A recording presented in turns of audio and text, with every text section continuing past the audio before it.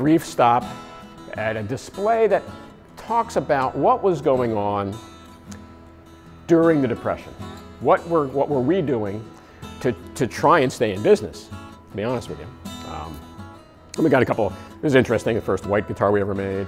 Um, but one of the things we did during the Depression was because of feedback from the dealers who said, boy, these the guitars are great, they're just too expensive. Isn't there some way you can make them more affordable?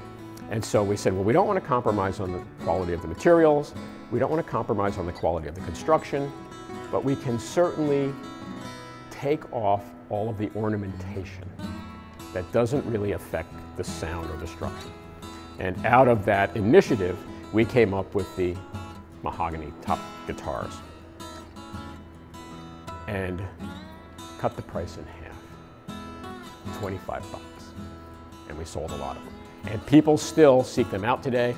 These four are cool because these were set up, that of course, uh, not a mahogany top guitar, these were set up for Hawaiian style playing.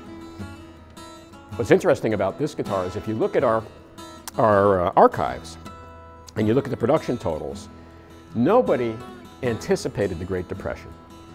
And so we, you know, in the roaring 20s, business was really good.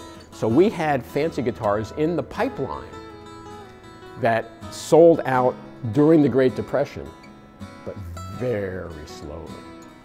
These things had been started or been planned, got them into the production, and then it's like, wow, business stopped. And so you'll, you'll see guitars, and if you look at the archives, where it's like it was begun and then it just kind of hung around for a year or two or three till we found a home for it. And by then we were adjusting our production to make more and more of the simpler, uh, more affordable guitars. Okay, wacky inventor. I'm as guilty as my ancestors. I love having conversations with wacky guitar inventors. Um, I've formed some partnerships with some of them. So imagine back in, oh, let's say 1929, someone comes to visit and says, I've, I've got an idea, Mr. Martin, and if you will listen to me, we will revolutionize the guitar because someday all guitars will have little holes around the side. We made four of them. Arch tops. We got into it. We forgot to carve the back. Don't ask me why. Uh, and we got out of it. They were hard to build, expensive, and didn't sell well from us. They sold well from other people. Um, the reason we got out of it is in the run-up to World War II, we were put on rations. Rations for raw materials, metal and spruce in particular. An arch top took this much spruce, a flat top took this much. We did the math. We said we can get a lot more flat tops out of a hunk of wood than we can an arch top. And every time we procured a tailpiece, we used up some of our metal allotment that meant we couldn't order another set of tuning machines. So we said, let's get out of this business. We can order more tuning machines to put on flat top guitars and we can have better utilization of the spruce uh, during, the, during the war. But, and we have a nice collection of, of arch top instruments here. This was the top of the line back in the day, the most expensive Martin guitar we made, 350 bucks and we bought it uh, to round out the collection, paid $18,000 for it. This case is dedicated to what we call the golden era. Um, we didn't call it the golden era back then because we didn't know, but in, in, looking back, it truly was. And now you, you think, okay, roaring 20s come to an end, Great Depression. There was a class of customer that was doing pretty good during the Great Depression. But before we get there, let's talk about this handsome gentleman here. There he is in later life, Perry Bechtel.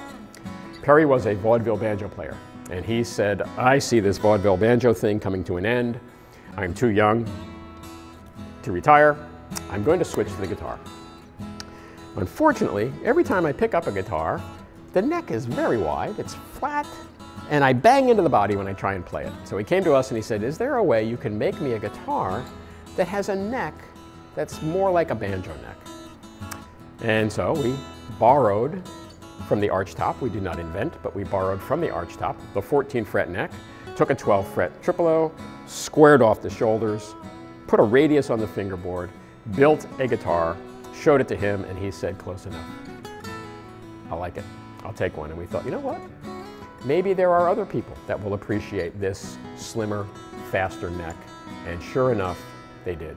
And over a pretty short period of time, the company went through a transformation where more and more, particularly of our bigger body guitars, were beginning to be made with the 14 rather than the 12 fret neck. So, who were those customers that were doing okay during the Great Depression? Country and Western stars.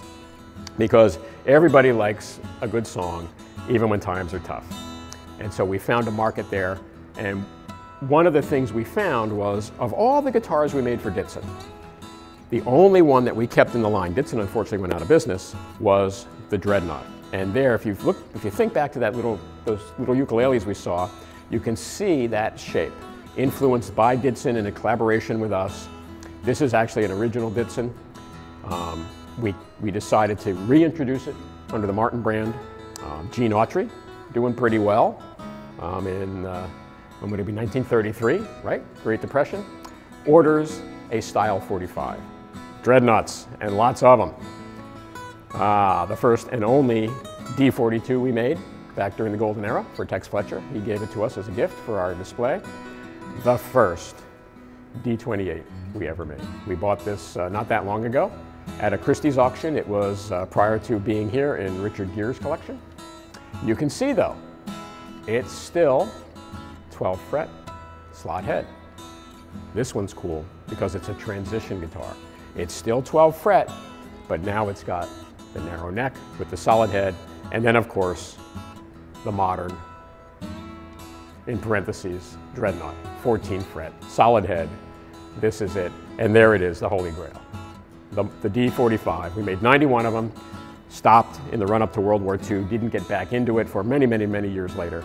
These are considered one of, if not the most collectible style Martin guitars or style guitars um, anyone really covets finding one of these somewhere. Um, it's, it, so we needed one for our collection. We didn't have one. And uh, this one came here and, and, the fellow that we ultimately bought it from said, this is the guitar you're going to buy.